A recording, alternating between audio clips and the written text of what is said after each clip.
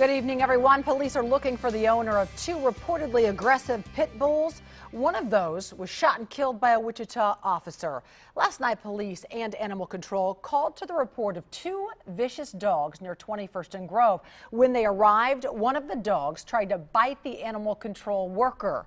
The officer tried to distract the dogs and wound up being their next target. He used his baton and tried to fend off the dogs. Uh, this worked until one of them came around to the side and started aggressively toward the officer. The officer then shot with his service weapon, uh, shot and killed that dog on scene. The other dog was caught and taken to animal control. This all happened near a neighborhood park and a popular bike trail. Ben Jordan spoke with neighbors about how this vicious attack is part of a growing problem. That's new tonight at 10. Jamel, people who live across from Dr. Glen Dey Park tell me they often run into stray dogs, but this most recent issue is most alarming. It was probably a couple nights ago. I was coming up Grove Street from 21st Street and I did see two large dogs pass behind my vehicle as we passed the street that they were intersecting from. Kelly Bird was driving home when dogs started chasing her car. She's thankful she wasn't walking in the park across the street. Yeah, they were quite intimidating looking. After hearing about the pit bulls that attacked animal control the next day, she's pretty sure it was the same dogs.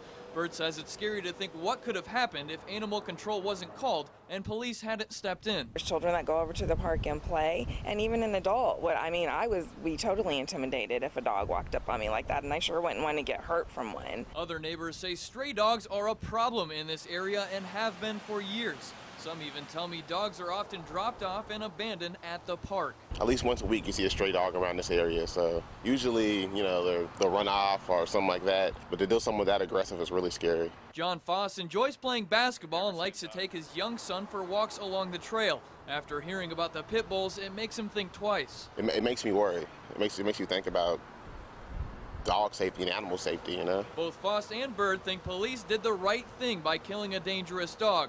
They just hope they don't have to run into one anytime soon. Of course, if it's between me and the dog, the dog has to go. I'm sorry. And as Jamel mentioned, police are looking for the owners of those pit bulls. If you know of their whereabouts, you're asked to call police or animal control at 316 350 3360. Thank you, Ben. KAKE News is on your side with tips on what to do if you run into an aggressive dog. The Humane Society of the United States says remain motionless and quiet, hands at your sides, and avoid eye contact with the dog.